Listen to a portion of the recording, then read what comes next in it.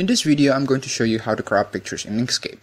Yes, you can do that in other programs like CorelDRAW or Photoshop, but neither of those softwares are free. Inkscape is completely free, but then again, so is GIMP and Paint.net.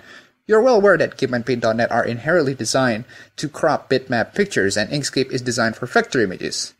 You don't care? Or maybe you have other reasons you want to crop with Inkscape? okay, fine. If you want to do it in Inkscape, here's how you do it. The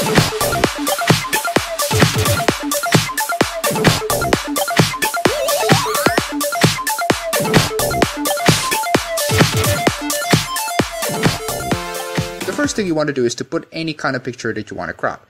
In this case, let's take the most generic picture of the most generic of all time. The stock photos that you get when you install Windows. And let's put Mr. Koala here because he's an adorable little dork.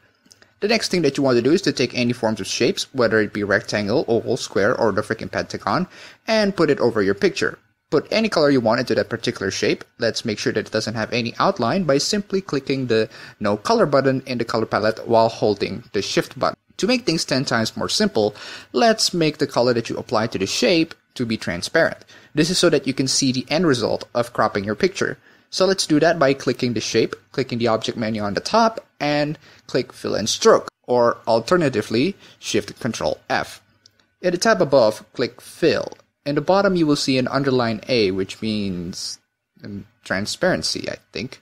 You do notice that if you drag this meter down, the color that you apply will be more transparent. You can also do this through opacity down below, but I don't recommend changing that because that can be universal. Anyway, after you make your color transparent, let's move on. Now let's get into actually cropping the image. In order to do this, you need to make sure that the object is at the top and it's in the position of the particular part of the image that you want to crop. After that, select both image and the object, right click and pick set clip and voila, your image is cropped. Also, if you want to uncrop your image, just simply right click and there's an option to get the original image uncropped. Thank you for all watching this extremely short tutorial and if you like this video, you can go ahead and click like and subscribe for more. Thanks for watching.